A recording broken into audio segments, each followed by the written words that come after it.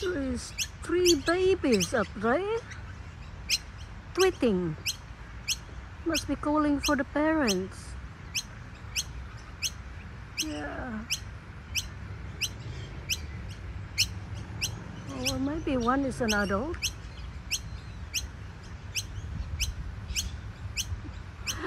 Probably poo on top of me.